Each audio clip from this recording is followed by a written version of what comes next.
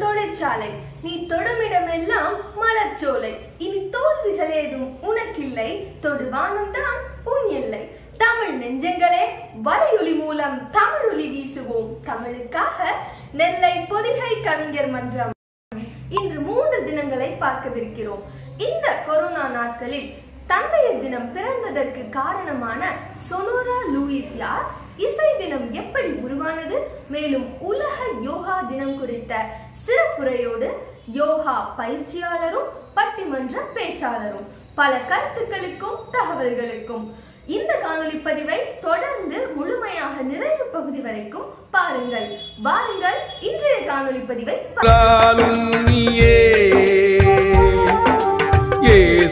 என்றாலும்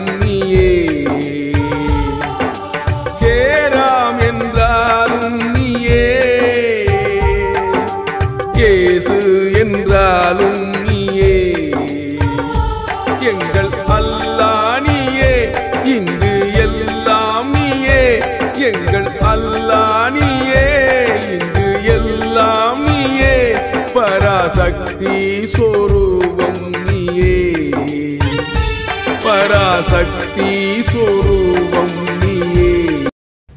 தந்தைகளுக்கு மரியாதை செலுத்தும் விதமாக ஆண்டுதோறும் ஜூன் மாதம் மூன்றாவது ஞாயிறு உலக தந்தையர் தினமாக கொண்டாடப்பட்டு வருகிறது.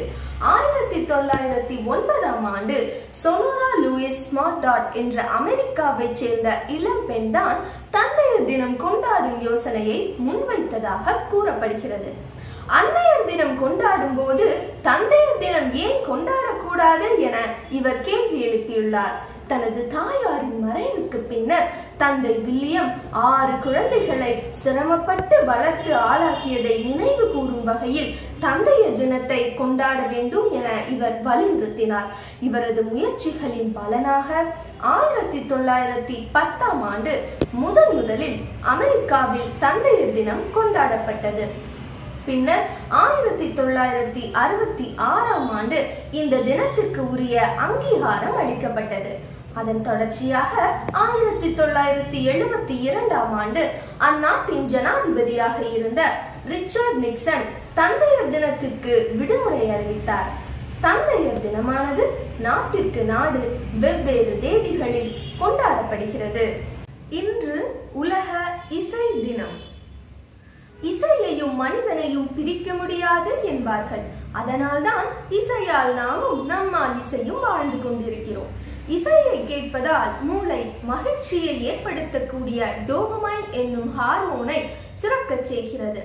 இசையின் ஆழத்தை உணர்ந்த பிரெஞ்சு அரசியல்வாதி ஜாக்லாங் மற்றும் இசையமைப்பாளர் மௌரிக் ஃபியூரட் இருவரும் இசையின் முக்கியத்துவத்தை அனைவரும் தெரிந்து கொள்ளவே இந்நாளை உருவாக்கினார்கள். அதன் பிறகே பாரிஸில் ஆயிரத்தி தொள்ளாயிரத்தி எண்பத்தி இரண்டாம் ஆண்டு முதல் இசை நாள் கொண்டாடப்பட்டது.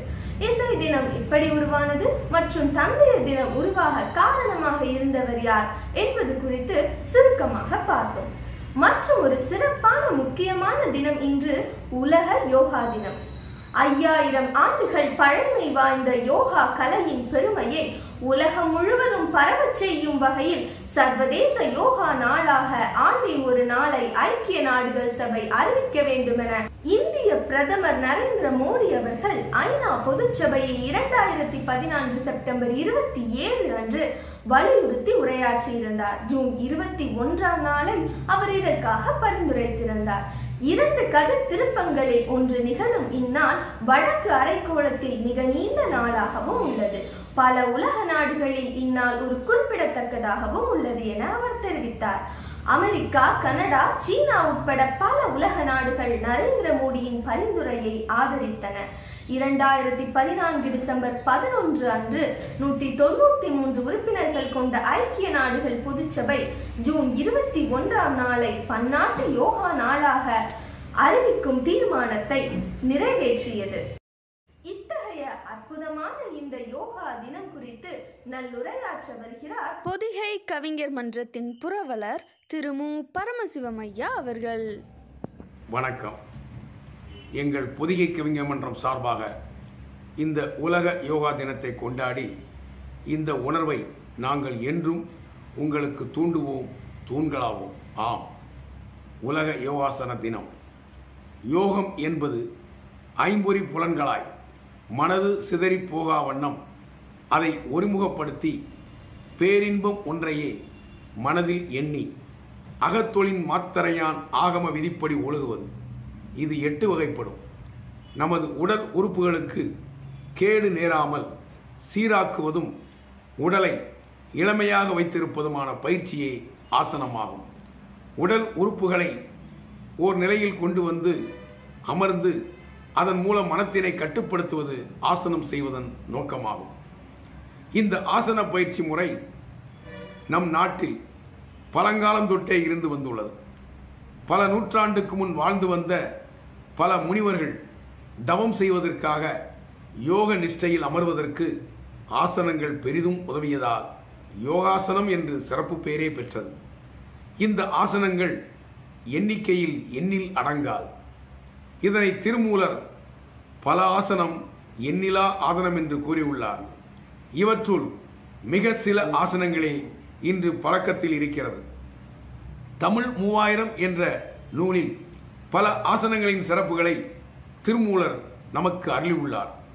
நாம் நோயின்றி வாழ சித்த மருத்துவத்தில் கூறப்பட்ட அட்டாங்க யோகத்தில் ஒன்றான யோகாசனம் இன்று உலக அளவில் ஆராய்ச்சி பூர்வமாக உணர்ந்து பல அறிஞர்கள் ஆராய்ச்சியாளர்கள் மற்றும் எல்லா நாட்டவர்களும் இந்த யோகாசன பயிற்சியினை பயின்று வருகின்றார்கள். பதினெட்டு சித்தர்கள் மூலம் எட்டு வகை யோகம் நடைமுறைப்படுத்தப்பட்டு அவர்கள் செய்த அந்த பயிற்சியை சித்த மருத்துவத்தின் மூலமாக யோகாசனத்தையும் முதற் பாடமாக வைத்து நோயின்றி வாழ வழிகாட்டியுள்ளார்கள் அதனை நமது இந்திய அரசாங்கம் உலக யோகா தினம் என்று இந்நாளை அறிவித்து மக்களிடையே யோகாசனம் சிறுவர் முதல் பெரியவர் வரை பயில ஒரு விழிப்புணர்வை ஏற்படுத்தியுள்ளார்கள் இனி வருங்காலத்தில் பலவிதமான புது புது நோய்கள் நம்மை அச்சுறுத்தி கொண்டிருக்கின்றன. இந்த நேரத்தில் இந்த யோகாசனம் நம்மை நல்வழி நடத்திச் செல்லும் முதல் படியாகும். எனவே நாம் பாரம்பரிய இயற்கை உணவு உண்டு யோகாசனம் செய்து நோயின்றி வாழ இந்நாளில் உறுதியேற்போம். நன்றி வணக்கம். யோகா தினம் குறித்த கருத்துக்களை பகிர்ந்து கொண்ட மருத்துவர் திரு மு. பரமசிவம் ஐயா அவர்களுக்கு நன்றி. இந்த யோகா தினம் நல்லுரையாற்ற வருகிறார் விக்ரமசிங்கபுரத்திலிருந்து திருவாடுதுறை ஆதீன சமய பரப்புனர் சித்தாந்த செம்மன் சிவஞான பேரொளி திருமதி சிவ கோமதி திருநாவுக்கரசு அம்மா அவர்கள். வாழ்க வையகம் வாழ்க வளமுடன்.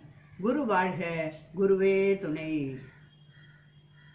நேர்களாகிய உங்கள் அனைவருக்கும் யோகா தின நல்வாழ்த்துக்களை தெரிவித்துக் கொள்கிறேன். இன்று யோகா தினம்.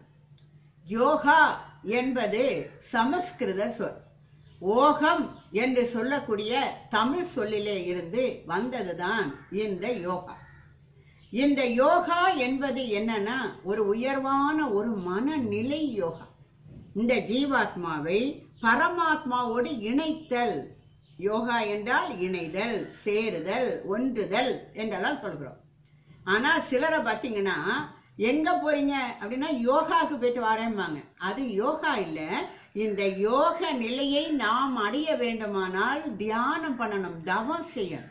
இந்த தவத்திற்கு உட்காரணும். அப்படி நம்மளால் அந்த இருக்கையை சமனாக வைக்க வேண்டுமானால் இந்த உடல் ஆரோக்கியமா இருக்கணும். இந்த உடலை ஆரோக்கியமாக வைக்க உணவு கட்டுப்பாடு நடைப்பயிற்சி சில உயர்ந்த ஆசனங்கள் நம்ம செய்யணும். அந்த ஆசனங்களுக்குத்தான் யோகாசனம் என்று பெயர். அந்த யோகாசனத்தின் மூலமாக நம் உடலை அந்த இருக்கையை சரியாக வைத்துக் கொள்ளலாம். அடுத்தது மனம். இந்த மனதை ஒருமுகப்படுத்தணும். இந்த உடல் மனம் உயிர் இந்த மூன்றும் ஒன்று இணைந்து ஒரு உயர்ந்த நிலையை அடையணும். அப்ப இந்த மனம் நம்ம தியான நிலையில் இருக்கும்போது தான் எங்கெல்லாமோ சென்றுட்டு வரும். அந்த மனநிலையை நாம் யார் என்பதை உள்முகமாக திருப்ப மனதிற்கு பயிற்சி கொடுப்பது தான் இந்த பிராணாயாமம் முத்திரைகள். இதை செய்கின்று தியான நிலையிலே தன்னை உள்நோக்கி பார்க்கணும் இவ்வளவு காலமும் வெளியிலேயே இருந்து அதுதான் யோகம் அதுதான் உயர்வு அதுதான் மகிழ்ச்சி அப்படியெல்லாம் அலைந்த அந்த மனதை உள்முகமாக திருப்பி நாம் யார் என்பதை உணர வைத்துக் கொள்ள வேண்டும். இதற்கான வழிமுறையை தான் திருமூலர் என்பவர் நமக்கு கொடுத்தார். இந்த திருமூலரை குருவாக கொண்டு பதஞ்சலி யோகா வந்தது. இந்த திருமூலருடைய அஷ்டாங்க யோகம். இது எதலானா இயமம் நியமம் ஆசனம் பிராணாயாமா பிரத்யாகாரா தாரணை தியானம் சமாதி. இந்த தியானம் என்பது ஏழாவது நிலை. இந்த இதையெல்லாம் செய்து நம்முடைய உள்ளத்தை மனதை தூய்மை செய்து தொண்டு செய்து ஆசனங்கள் மூலமாக உடலை தயார் பண்ணி பிராணாயாமத்தின் மூலமாக மனதை தயார் பண்ணி இதெல்லாம் கடந்த நிலையில தவமும் தவமுடையாருக்குனர். அந்த தவ நிலையில நம்ம இருக்கின்ற பொழுது மனம் உயர்வான ஒரு நிலையை அடையும். அப்ப வெளி சூழல் எப்படி இருந்தாலும் மனம் சோர்ந்து போகாது.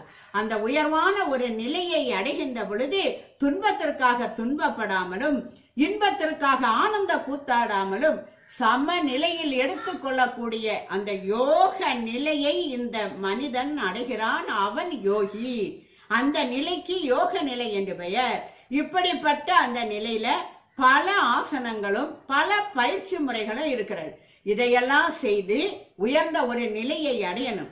இந்த உடலை ஆரோக்கியமாக வைப்பதற்காகத்தான் அவர் சொன்னார். உடம்பினை முன்னம் முழுக்கண்டிருந்தேன் உடம்பின் உள்ளே உருவருள் கண்டேன். உடம்பின் உள்ளே உத்தமன் கோயில் கொண்டான் என்று உடம்பினை யாமிருந்து ஓம்புகின்றேன் நேனர். அப்ப உள்ள உள்ள அந்த ஜீவாத்மா பரமாத்மாவை உணர இந்த உடம்பு அவசியம். இந்த உடம்பு என்ற படகை கொண்டுதான் நம்ம என்ன செய்ய முடியும்? பிறவி கடலை நீந்த முடியும். மனம் செம்மையானால் மந்திரங்கள் தேவையில்லைனர் இந்த புலன்கள் நாம் சொல்வது போல கேட்க வேண்டும். அப்படிப்பட்ட இடத்துல நம்முடைய அறிவில் தெளிவு வரும். அறிவின் தெளிவே ஞானம். அந்த ஞான நிலையை அடைவதற்காக பல பயிற்சிகளை கொடுத்து அந்த நல்ல தினத்தை இன்று நாம் கொண்டாடி கொண்டிருக்கிறோம். இந்த தினத்திற்கு தான் யோகா தினம் என்று ஒவ்வொரு வருடமும் இந்த ஜூன் மாதம் இருபத்தொன்னாம் தேதியை நம்ம நடத்தி கொண்டிருக்கிறோம். அந்த வணக்கங்களையும் வாழ்த்துக்களையும் மீண்டும் மீண்டும் தெரிவித்து நீங்கள் அனைவரும் உடல் நலம் நீளாயும் நிறை செல்வம் உயர் புகழ் மெஞ்ஞானம் பெற்று ஓங்கி வாழ எல்லா வல்ல இறை அருளும் குரு அருளும் துணையாக இருக்க வேண்டும் என வாழ்த்தி நிறைவு செய்கிறேன். வாய்ப்புக்கு நன்றி. திருச்சிற்றம்பலம். பாறையில் வீழ்ந்திட்ட மழை நீர் போல் சிதறாமல் ஓர் குடலில் குதித்திட்ட நீர் குமிழி போல் கோர்த்தெடுத்து யோகா தினம் குறித்த கருத்துக்களை செந்தமிழில் சேர்த்தெடுத்து தந்த திருமதி சிவ கோமதி திருநாவுக்கரசு அம்மா அவர்களுக்கு நன்றி. அடுத்ததாக டாக்டர் திரு வி. மகாராஜன் ஐயா அவர்கள் இரண்டாயிரத்தி ஒன்பதில் மதிப்பிற்குரிய ஐயா திரு ஆசன ஆண்டியப்பன் அவர்களின் பொற்கரங்களால் யோக கலைமாமணி விருது பெற்றவர். நெல்லை லயன்ஸ் கிளப் சார்பாக இரண்டாயிரத்தி பத்தில் சிறந்த எதிர்கால சிற்பி என்ற விருதும் இரண்டாயிரத்தி இருபதில் செங்கல்பட்டு லயன்ஸ் கிளப்பில் இருந்து யோக பூஷன் என்ற விருதும் பெற்றவர்.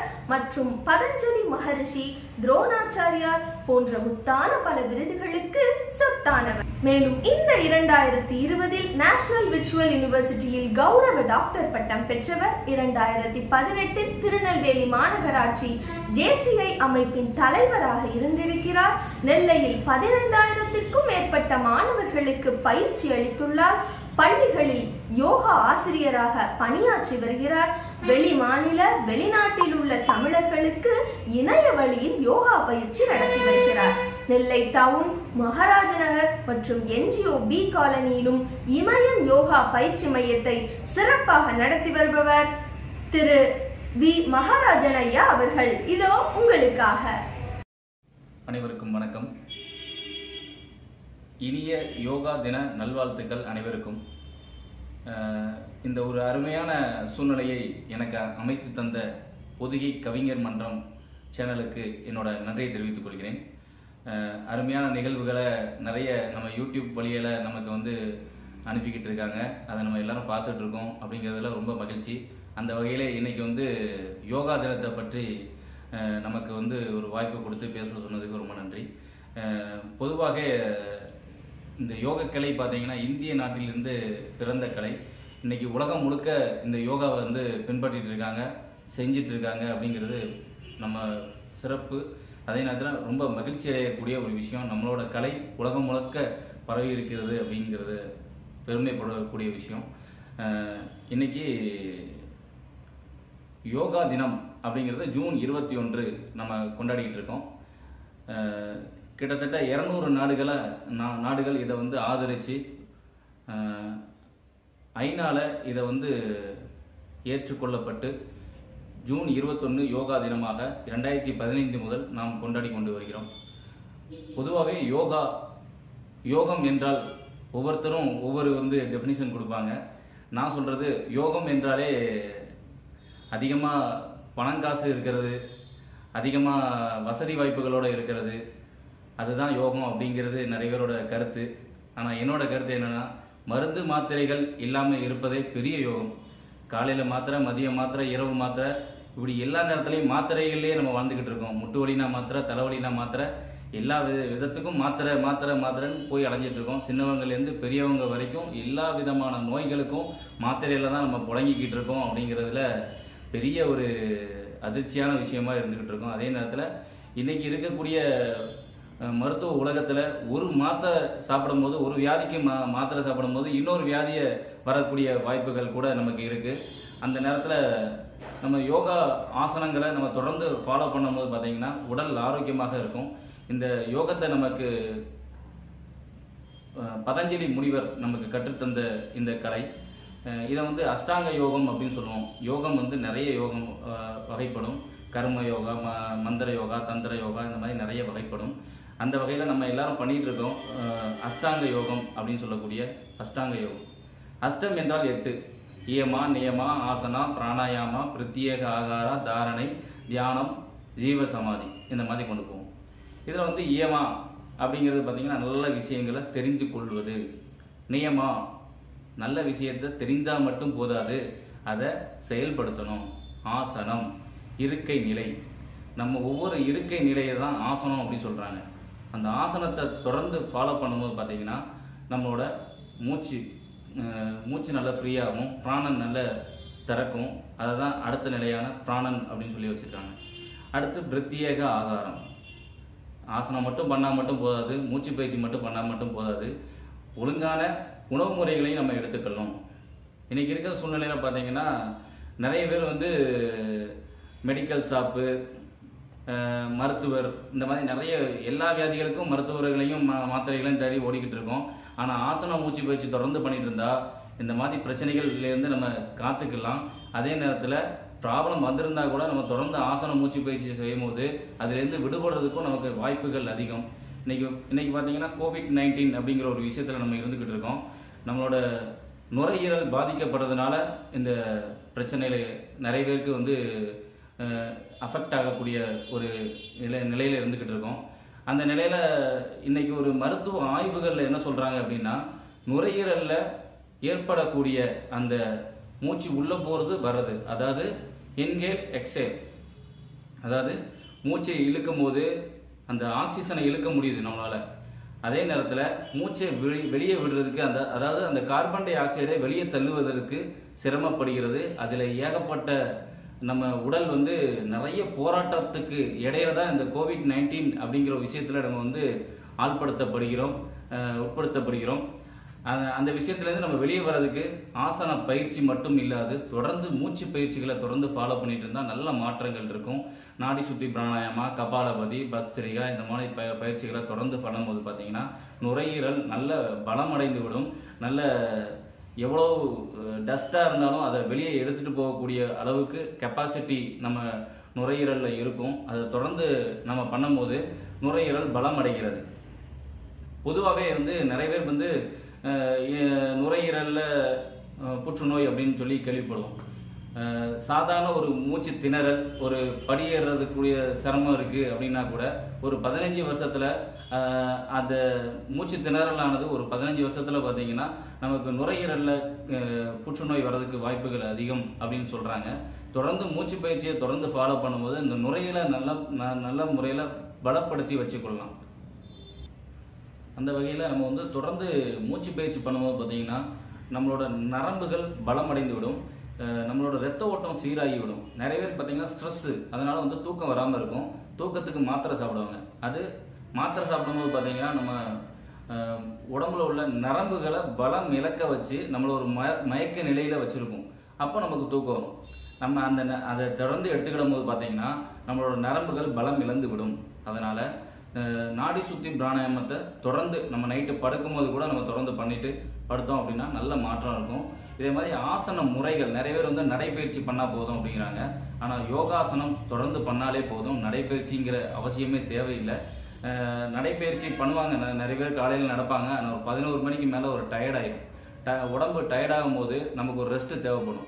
ஆனால் யோகா தொடர்ந்து யோ யோகாவை தொடர்ந்து பண்ணும்போது பார்த்தீங்கன்னா நம்ம உடம்புக்கு ஒரு சார்ஜ் கிடைக்கும்.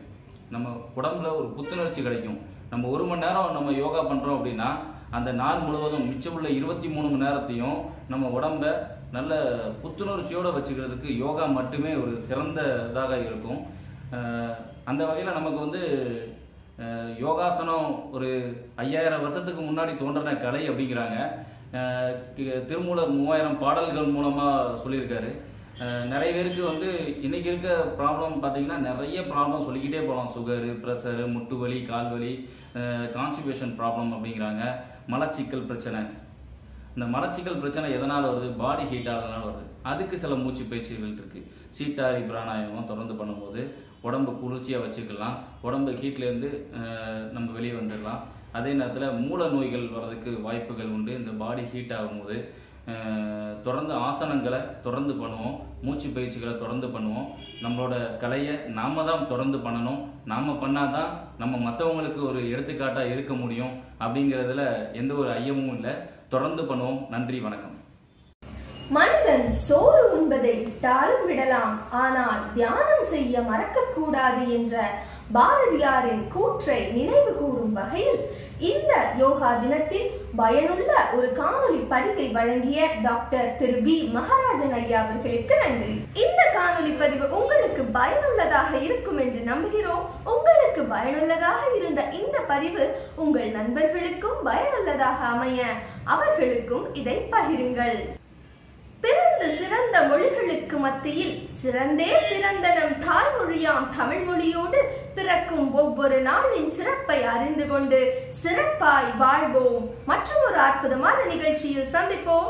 நன்றி வணக்கம். வீடியோவுக்கு கீழே ரெட் கலரில் சப்ஸ்கிரைப் அப்படின்னு ஒரு பட்டன் இருக்கும். அதை இப்போவே கிளிக் பண்ணிவிட்டு பக்கத்துலேயே ஒரு பெல் பட்டன் ஒன்று வரும். அந்த பெல் பட்டனும் அழுத்தி வச்சுருங்கன்னா நம்ம சேனலில் போகிற வீடியோக்குள்ளே தொடர்ந்து பார்க்கலாம். நம்ம சேனலில் ஆல்ரெடி நிறைய யூஸ்ஃபுல்லான வீடியோ போட்டிருக்கோம். அதை பார்க்கணும்னு நினைக்கிறவங்க அந்த சேனல் பேரை கிளிக் பண்ணி உள்ளே போனீங்கன்னா நம்ம போட்டிருக்க வீடியோவெல்லாம் இருக்கும். பாருங்கள்